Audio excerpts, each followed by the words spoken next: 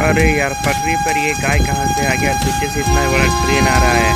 क्या करो क्या करो? जाओ, थोड़ा देखो।